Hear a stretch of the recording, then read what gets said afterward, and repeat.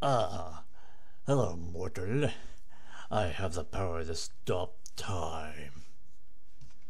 Okay, prove it. Behold!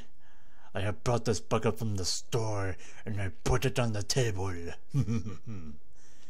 I don't know you don't have the ability to summon buckets out of nowhere.